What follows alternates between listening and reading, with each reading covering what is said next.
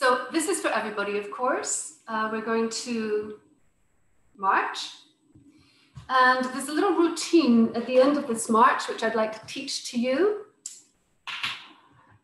Uh, I will, let me teach it to you first. So everybody uh, who can, who has space, uh,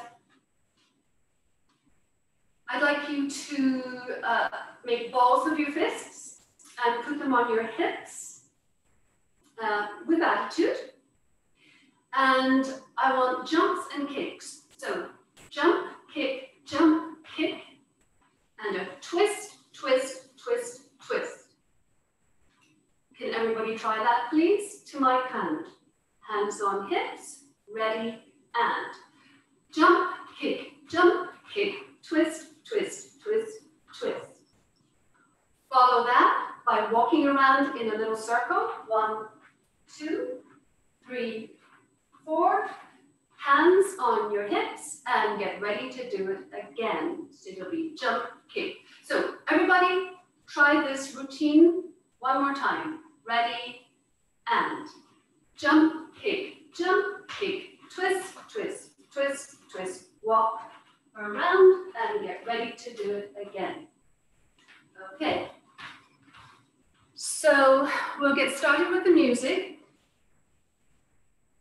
When you start listening to the band, I want you to listen for all the different instruments. And when you hear an instrument, you can play it. You will hear a drum. So stand to attention and get ready to play a drum. You will hear perhaps a penny whistle or a piccolo. You might hear a trumpet. You will, if you listen hard, hear a violin.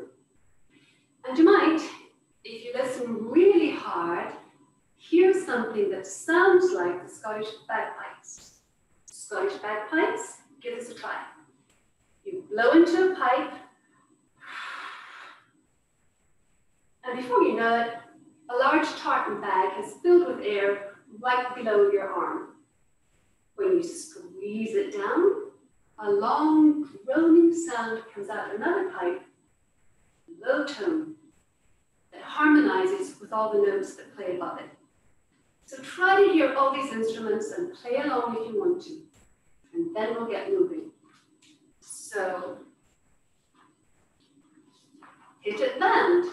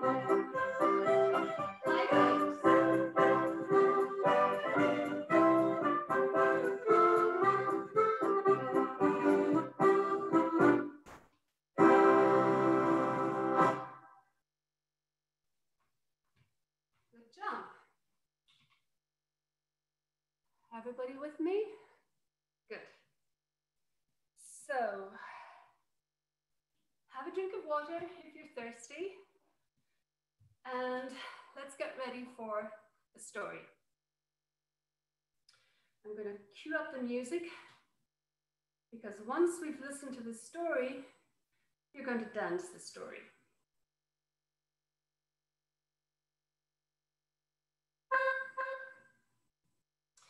Okay. The story is called The Little Red Kite. So here she is. Can you see her? Do you see her long decorative tail? As she flies up above the clouds? Okay. So the little red kite, she climbs up to the top of the hill. And there, on the grassy top, she meets her old friend, the wind. It's a blustery day, shouts the wind. A perfect day for flying. I'm ready, says the little kite, and to prove it, she rises up onto the tips of her toes, pulls her chin up, stands as tall as she can be, and waits. All of a sudden, the wind swoops in and lifts the little kite up off the ground. Up she spins.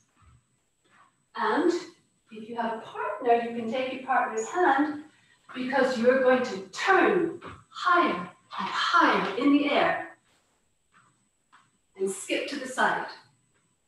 Let go. Now that you're up here, there's no time to hang around, no time to look at the sky above or look at the earth below, because the wind whips in beside the little kite and she darts across the room. This time, the wind is out of breath. So while he pauses, the little kite bobs up and down. But then the wind lifts his chest, puffs out his cheeks, purses his lips, and blows. And the little kite twirls forward, twirls around, and scuds backwards. She has twirled and swirled so high into the sky, she has reached the stratosphere, also known as the surf zone. That is a place so high up, the wind cannot reach her. So once she's up there, she's able to glide around. And she's going to glide in the shape of a figure of eight. So you know what that looks like? If you imagine a big eight on the floor, it's a big fat top. You cross over and dance around a big fat bottom and come back to where you started. So there is your figure of eight. You can glide and sway and trail that lovely decorative tail behind you. After a little while though, the wind gets impatient. He's down below. And to get the kite's attention, he whistles. Hey, it's time to come down. It's time to go home. So the little red kite, cradled by the wind but with gravity pulling, begins to spiral down, round and around. So she does a little slip step. She spirals all the way around and all the way down towards the earth. However, at the last moment, as the earth is rising up towards her and she's about to touch down, there's a surprise. The wind sweeps under her wings and shoots her forward across, across the blurry, flattened blades of grass. By this time, the wind is really out of puff. It's time to go home. So he sighs goodbye and slides off down the hill. The little kite nods her own goodbye, thanks the wind for a day's adventure, and flops down gently. So there we have the story of the little red kite. We are going to dance that story by skipping and twirling and darting. Just make sure that you're safe in your room. Uh, but imagine that you're flying in the sky. The dance will go, and the story will go actually six times through. If you get tired, you can take a break. I will dance it with you, and I may stop and watch how you're doing. So let's begin at the top of the hill. Let's get ready. And here we go. The little red kite.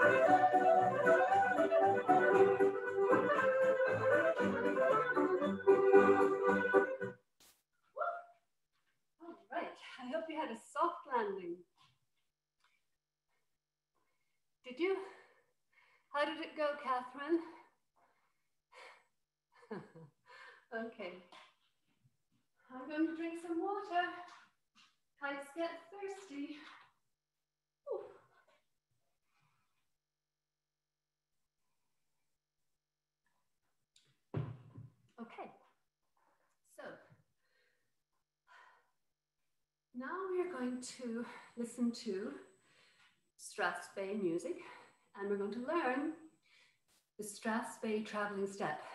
This is a Scottish country dance step. I'm going to get some help from my friends who are going to teach it to you. And so let me introduce my first friend. His name is Harry. Here is Harry the hippo. Okay, what I want you to notice about Harry is uh, his strong legs. Look, strong, powerful. So those are qualities that you will bring to your dancing. He's going to be joined by our other friend, Flo the flamingo. I want you to notice Flo She's a different sort of creature, right? She's rather tall, she's rather elegant, and she knows it. She's a little bashful. I want you to notice that she has a light, feathery body and long legs. You see how she bends that knee? As she reaches forward. And when she reaches forward with her foot, her toes are pointed out and down this boot here that she's balancing on, she's up on the balls of her feet, the fronts of her feet. And again, her foot is facing outward like a V shape. So let's get going. Let's learn this step. The music that we're going to use is um, from a dance called Slytherin House. And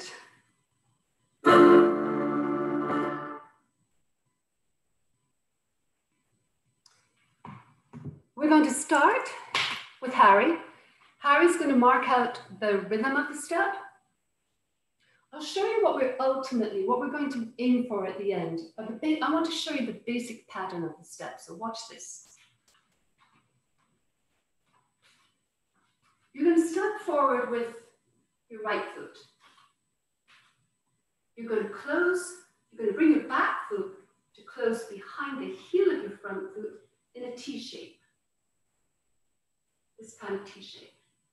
You're going to step forward again with your front foot and bring that back foot through, ready for the next step, which is step, close, step. I'll show it to you with my back to you starting with my right foot.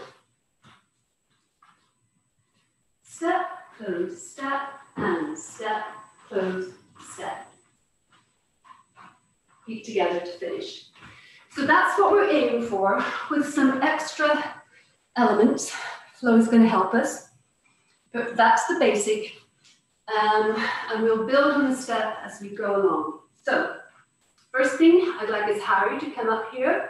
Harry, I'd like you to walk around and let us hear the rhythm in the music using your steps. Simple steps, one after the other. Here we go.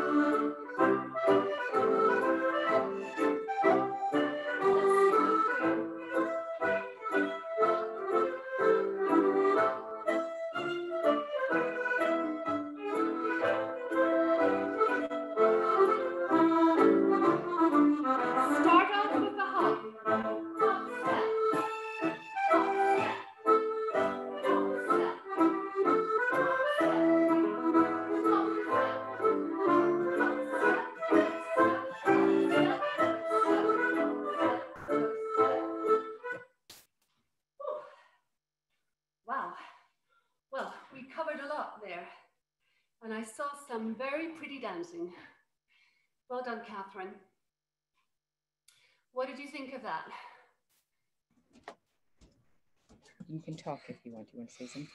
And also, the flamingo was making a four. Making a four? hmm With his legs. With his legs.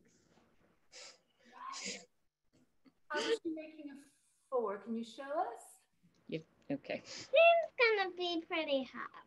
Ah, Right, right, right, right, right. the flamingo does it better than me. No, I don't know. I think you're doing it very well. You're bringing, you are, you're bringing that, that leg up as you bring it through. Step, close, step. just for a little bit. You were doing it just right. Step, close, step. Bringing that leg through. Step, close, step. Yes, bending the knee as you come through. Very nice, Catherine. You definitely got the hang of it. Okay. Thank you to Harry and Flo. Whew, they're tired. Off to bed. So, um, we have one more story and dance. And our dance is called Miss Haddock Goes Fishing. Miss Haddock Goes Fishing. So let me pull the music up.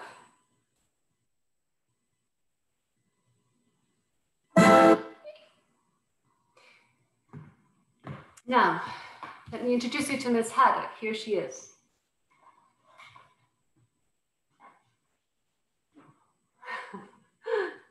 yeah, she's waving to you too. You see that she's carrying a fishing rod. This is her reel, the reel part where she reels in her catch, fishing rod, a long line. And down here at the bottom is a rather big, heavy hook, which will feature in the story. So remember that. Um, so Miss Haddock is going to go down to the local park where there's a pond. So let's get down there. Uh,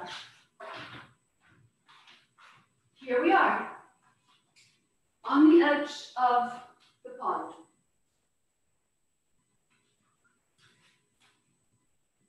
Now, when Miss Haddock arrives, she sees her friend across on the other side of the pond. And to be polite and to acknowledge that her friend is there, and maybe they're going to dance together, she curtsies. So she puts one, try this with me, she puts one leg behind the other foot, one foot behind the other foot, and dips down, bending her knees, and straightens back up, feet back together. Want to try that again? That's curtsy. So let's try that curtsy, ready, and down, up. Her friend on the other side of the pond decides they want to do a bow in acknowledgement of, of Miss Haddock. So you can try a bow, which means standing up nice and straight, arms by your side, bending forward at the waist as you look at your partner or your friend, down and up. So this hello or acknowledgement happens right at the beginning of the dance. You will hear a chord. It's a blare of sound, and it's telling you that dancing is about to begin. And when you hear that sound, you can curtsy or take a bow to acknowledge or say hello to your friend. You can also do it at the end of the dance, but we're not going to, uh, yes, we are, we're going to dance through the whole dance. So you can do that at the beginning, and you can do a bow or a curtsy right at the end too, to say, thank you, thank you, friend, for dancing with me. Miss Haddock arrives on the edge of the pond. She sees her friend and decides to slip around the pond. So she takes a slip step halfway around and gives her friend a high five and goes back. She then settles down with a little step, takes out her fishing rod, and casts her line and her hook into the water. It sails Now, this heavy hook sinks down to the bottom of the water and hits a creature who was sleeping down there peacefully on the head. The creature wakes up and is disturbed and is a little bit annoyed. So the creature starts to move and wants to find out what is going on up there. So as the creature stirs and rises up towards the top and the surface of the pond, the water starts to boil a large whirlpool forms. So you can take your partner's hand and you can be the whirlpool. Here's the center, and the water is whirling around the center. And then all of a sudden, an alligator. An alligator has surfaced from the pond. Here is his long pointy nose, and here is his ridgy pointed scaly back that reaches all the way down his long spine. He is a bit annoyed, so he comes out of the water to see what's going on. He climbs out, he scuttles around the edge of the pond, he jumps into the pond because Miss Haddock jumped into the pond before him, so in he jumps and he sinks down. And as he sinks down, a large wave of water splashes onto the edge of the pond. Now, I told you, Miss Haddock and her friend were terrified. When they saw the alligator come out of the water, they jumped into the water. When he jumped into the water, they jumped back out of the water. It was chaos. And Miss Haddock and her friend scurried around the edge of the pond, whew, only feeling safe when the alligator had sunk back down to the bottom of the pond. Now, we can start the story all over again, and we can dance the story to music. So, let's do that. We will dance the story four times through, beginning with a curtsy or a bow, and ending with a curtsy or a bow. Let me make sure I have the right music lined up. You will wreck, it's not the traditional music. Yep, it's all ready. So here we go.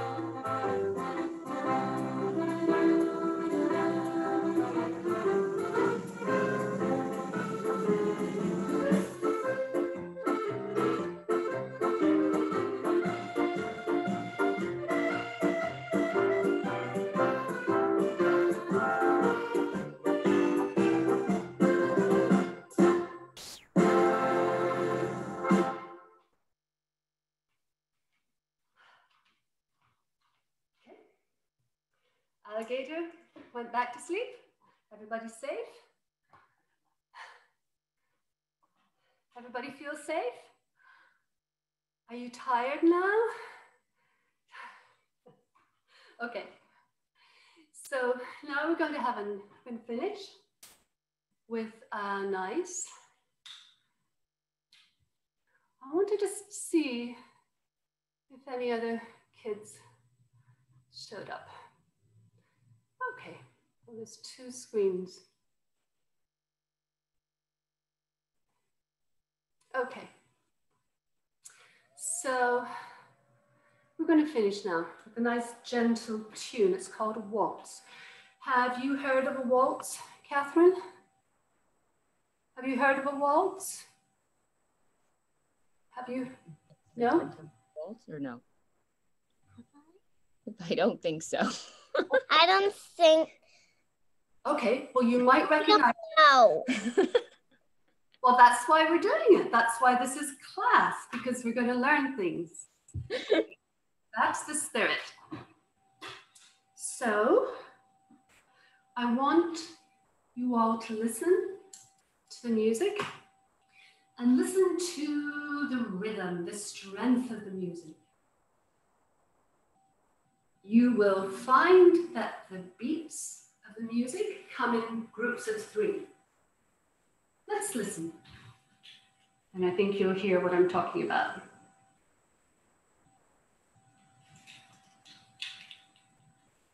The next one.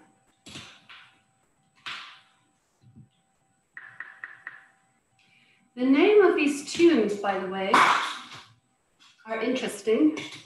The waltz tunes, the first one is called A Fond Kiss, which is Scottish for one affectionate kiss. And it seems that there was a couple who had one loving kiss, fell in love, and then they had to part, which is very sad. And they wrote a whole romantic song about it. The second tune that you will hear is called Lizzie Lindsay.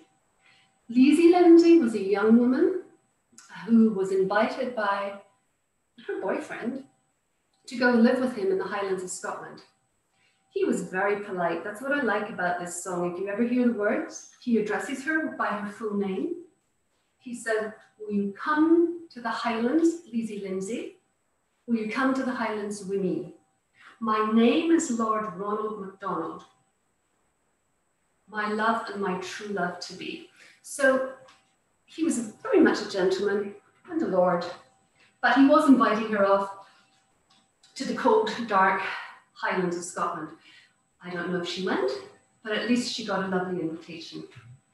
So let's waltz to these tunes. Uh, first of all, we're going to start by listening because I want you to hear the rhythm of a waltz.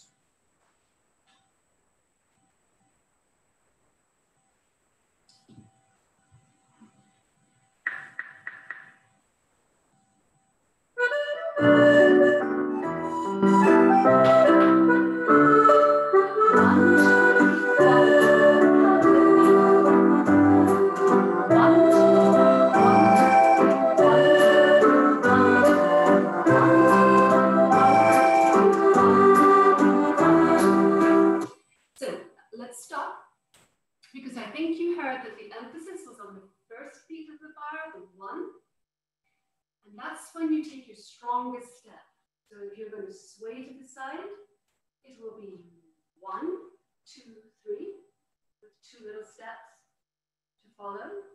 Dance back. One, two, three. I'll show you my feet. One, two, three. One, two, three. And as you sway back and forth, you can turn around. One, two, three, one, two, three. You can go forwards and backwards. You can dance with your partners. You can take both hands and move together. And you can turn when you feel like it.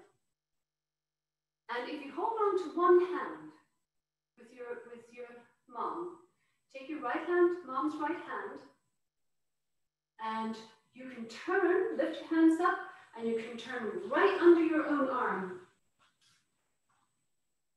in a twirl. So that's fun to do the twirl. And then bring your arms back down and start dancing again. Lovely. I can see you do that. Very good. All right, let's get on with the music. Everybody waltz, everybody enjoy. Here we go.